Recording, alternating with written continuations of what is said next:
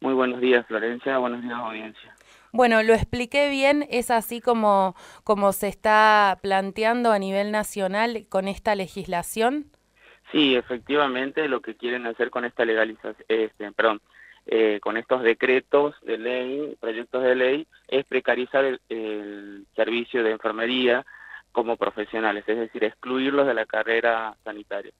Algo que surgió en la ciudad de Buenos Aires, en, en Cava, en Ciudad Autónoma de Buenos Aires, con el gobierno de eh, Horacio Rodríguez Larreta y que intentan eh, implementarlo a nivel nacional, ¿no? Exactamente, porque si es que es aprobado en Gran Buenos Aires, este, en las provincias y como Tierra del Fuego tiene la, eh, la particularidad de siempre adherirse a lo que dice Nación, sería implementado acá. Lo por ahí que nos llama mucho la atención y es que a través de esta movilización eh, nos convocamos los enfermeros en características profesionales eh, y notamos, por ejemplo, que acá ya desde hace tiempo estamos blanqueados de esa manera como personal técnicos y administrativos, o sea que parte también de lo que nosotros vamos a realizar como marcha a favor y que es una marcha nacional, ¿no? Porque en todo, todo el país va a suceder eh, a favor de Buenos Aires, también vamos a reclamar que se nos recategorice como corresponde acá en Tierra del Fuego. O sea que esto ya está sucediendo en, en nuestra ciudad. Exactamente. ¿Lo descubrieron ahora con, con esta movilización o ya lo sabían desde de, de antemano? Eh, por ahí, por ejemplo, algunos sí lo teníamos presente, pero la gran mayoría de los colegas no. Entonces nos hicimos asesorar por un letrado y nos explicaron bien cómo es la situación. Nosotros hoy por hoy estamos blanqueamos como personal técnicos y administrativos, de los cuales muchos de los enfermeros somos licenciados, algunos somos magíster y tenemos especialidades con carreras de más de cinco años y lo cual la ley de carrera sanitaria dice que con una carrera de más de cinco años tiene que ser blanqueado de otra manera. Y eso es lo que también nosotros estamos exigiendo acá en Tierra del Fuego, que se nos considera obviamente profesionales, ¿no? Por supuesto. Para eso, somos, para eso estudiamos y estamos a, a, merced de lo que necesitan las personas, nuestros pacientes.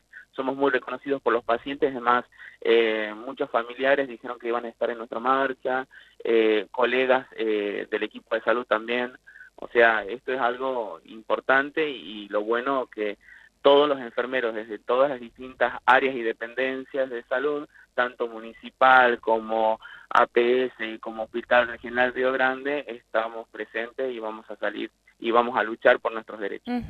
Ezequiel, ¿cuántos licenciados en enfermería hay eh, aproximadamente aquí en, en, la ciudad y cómo podrías contarnos la, la situación actual? ¿Cómo están trabajando? Mira, los licenciados en enfermería, tanto como enfermeros profesionales como auxiliares, que son muy pocos los que están quedando de auxiliares, realizamos el mismo labor, el mismo trabajo, ¿sí? Con asistencia eh, directa al paciente aproximadamente, esto es un estimativo porque la cifra exacta no las tengo, pero casi el 85% de los enfermeros que están trabajando acá en Tierra del Fuego, sobre todo en Río Grande, son licenciados en enfermería. O sea que quedaron el 5 o un 6% de profesionales y el resto serían auxiliares. Decías que eh, tienen el reconocimiento de, los pacientes, de los familiares, todas las personas que en algún momento hemos pasado por los hospitales, por el hospital de aquí de la ciudad, por los centros de salud, sabemos de la, de la gran tarea que realizan, de la vocación que le ponen también a, a la tarea cotidiana. ¿Por qué creen que no tienen este reconocimiento por parte de, del Estado? Y en realidad con este presupuesto que están bajando para las áreas de salud, por ejemplo, pensamos que puede ser por eso. La verdad es que eh, no sabemos bien por qué arbitrariamente el Estado está haciendo con esto con nosotros los profesionales eh, y bueno, y ante esa situación no nos vamos a quedar callados. Estamos todos unidos y queremos que nos reconozcan como profesionales de salud. Como muy bien lo decíamos recién, eh, nuestros pacientes son los que nos reconocen y nos, nos apoyan. por ejemplo, la semana pasada hicimos un reclamo eh, público fuera del hospital y estuvieron los mismos pacientes y familiares eh, apoyándonos, aplaudiendo, haciendo bullicio, diciendo que nos que todo lo que necesitemos ellos van a estar, o sea, la población nos reconoce nosotros nos autorreconocemos. Entonces ahora falta que el Estado también nos reconozca. Totalmente. Sobre todo el Estado provincial. Ezequiel, eh, ¿cómo va a ser la jornada del día miércoles? ¿Cómo tienen planificada esta movilización y esta visibilización también de, del reclamo?